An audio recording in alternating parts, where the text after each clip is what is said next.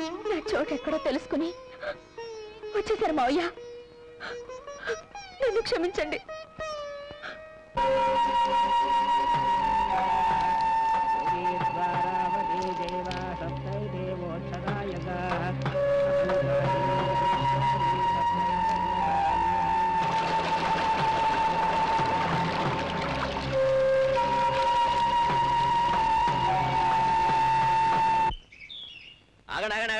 ఏంటా తొందర?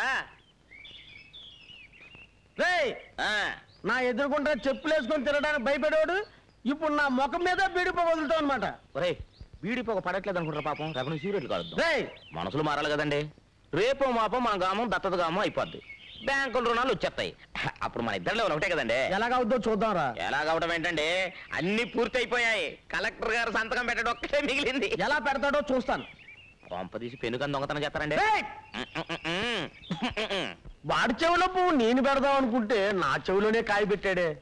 మీరు ఇలాగే ఉంటే రేపు మీ నెత్తిన చెట్టు పీకి పెట్టినా పెట్టేస్తాడు. ఊహు. ఇక లాభం లేదు. వాడికి ఆర్త ఇవ్వాల్సిందే. అగ్గిపోలేదు ఇదిగో. వీడా? ఆ ముద్దు కృష్ణ దశరథరామయ్య కొడుకు కాదంట. రే వీడికి పదివేలి అలాగే. ఎందుకురా ఊరికే తొందరపడిపోతారు? ఇది గవర్నమెంట్ వాళ్ళతో పని. ఇయ్యాలో రేపు కలెక్టర్ గారు ఆఫీస్ నుంచి కాగితాలు వస్తాయి. అవి రాగానే మీరు అడిగినవన్నీ జరిగిపోతాయి. మీరు వెళ్ళండి. ఓసారి ఇలా వస్తావా? అన్నయ్య మన ఊరిని దత్తత గ్రామం చేయరంట. ఎవడరా? ఎవడు? ఎవడా మాట ఉంది కలెక్టర్ ఫైల్ మీద సంతకం చేయకుండా తన దగ్గర ఉంచుకున్నాడు. ఇదేంటి సార్ అని అడగపోతే ప్యూన్తో బయటికి గెలిచాడు మా ఇద్దరిని.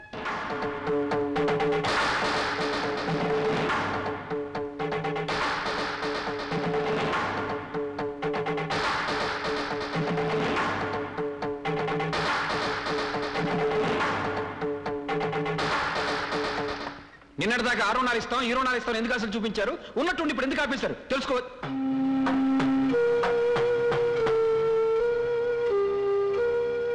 మీరు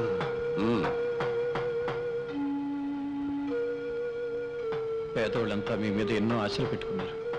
కానీ ఉన్నట్టుండి మీరు ఈ నిర్ణయం ఎందుకు తీసుకున్నారు? స్వార్థం. నాకు ముద్దు కృష్ణ కావాలి. నా కొడుక? నీ కొడుక. ఎలా? ఎలా అంటే పాతికేళ్ళు పెంచి పెంచితే నీ కొడుకు అయిపోతాడా? నా కోడొచ్చి నీ ఇంట్లో గుడ్డు పెట్టింది. నీ గుడ్డు అయిపోతుందా?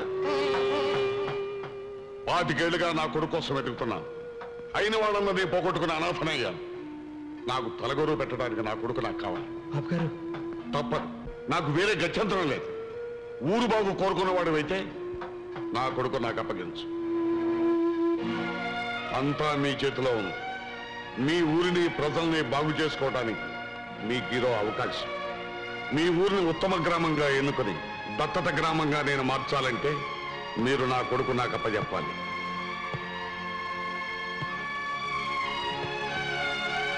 కలెక్టర్ అన్నిటికీ ఒప్పుకున్నారా అయ్యా? నాకు చక్రాలు పండిస్తారా బాబు? అంతా మీ చేతిలోనే ఉంది బాబు. కలెక్టర్ గారే అన్నారు బాబు. ఎవరెవరికి ఏమేం కావాలో అన్నీ చేసి పెడతానన్నారు.